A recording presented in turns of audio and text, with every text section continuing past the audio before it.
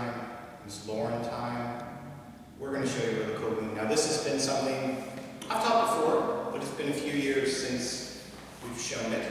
So it's always good to bring something back. You may not have seen it when I first taught it years ago. It's tandem with it. So it's you're doing a tandem turn with that. All right? So how it begins is a same side whip. So you're bringing her in on your right side, and we're going to get to four. So one, two, three, and four. Now she's on her left foot, I'm on my right foot. But if you notice, normally when I get to four on a whip, I'm in front of my partner on the track. I'm staying beside her on her left side. She was. So we're sugar push, we're gonna get to four, five, and six. One, two, three, and four. Okay, so she's coming forward on her right foot, I'm on my left. Thank you, Lauren, for missing me.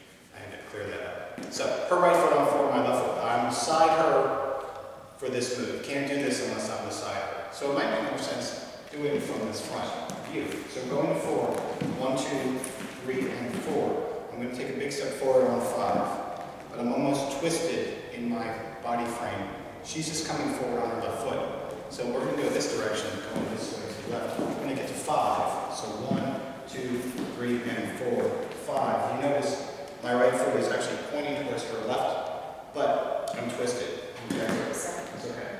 So that's the point. I'm preparing myself to a pivot turn to my left. So the whole thing to eight looks like this. Should two, three, and four, five, and six. One, two, three, and four, five, six, seven, and eight. Now it does take time to do. We practiced, but when we first do it, it's not easy to do because based on if she's never seen it before, not comfortable with elbows and arms kind of flaying at you. So front to back, You play. I play a little. I like to flip. Sugar push. So we're going to get to four and we're going to stop. So one, two, three, and four. And we're actually going to try and do this slow. So five, I come forward and I'm also compressing into the ground. I'm going to take my left arm, go up.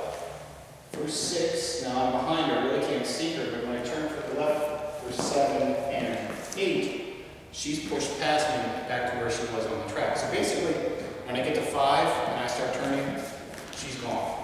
I don't see her. I'm relying on my lead to make it hopefully back where she was. Sugar push. Two, three, four, five, and six. One, two, three, and four. Five, six, seven, eight. Eight. All right? We'll go front to back, but main front. Just to kind of see how I move over track.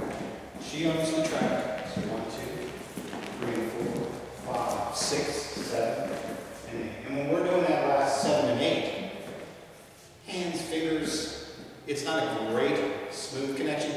We're really relying on just the touch of each other to move the back where she was. But it's a really cool move. The tandem part's cool. The compression into five, bounce off of that to do the turn. It works for me. It Work for you? Yeah, actually, one thing I realized I did this time, I don't know if I've done it before, is I actually put a hand on your shoulder as I was turning. I don't know if you felt that, Use that tip if you wish.